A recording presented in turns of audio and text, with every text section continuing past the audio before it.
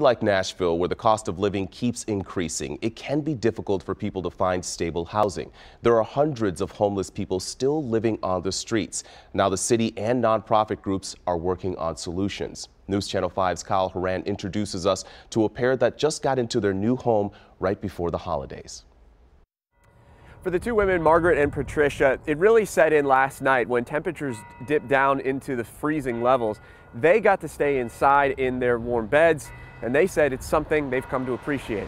It's still a little weird after staying six years on the streets. For a while, we lived in the car I had before the motor finally locked up and I had to sell it for junk. Patricia Davis and Margaret McKinney were homeless just three weeks ago. They would have been staying under a tarp and tent through the holidays had they not been approved for this housing. It squeezes on the tarps because we had tarps over the tent. And when we had that ice storm, we stayed out in it, but it was hard. Davis and McKinney give the credit to People Loving Nashville and a local church group for this. Two beds, a bathroom, nearby kitchen, and a place to shower and do laundry. Simple things so many people take for granted, but that hundreds live without every day in the city. Monday before the 13th, we got told. And it's like, okay, is this for real?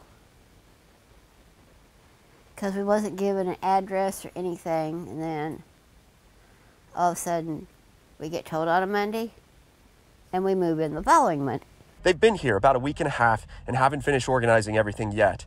This year, more than 190 people died out in the elements. Friends of the pair are still on the street.